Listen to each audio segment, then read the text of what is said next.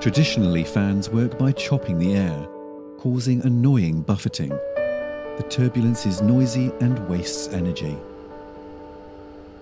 Our solution is to lose the blades and route the air through a seamless airfoil, creating a smooth jet of air. This makes for the smoothest, quietest, and safest fan ever made.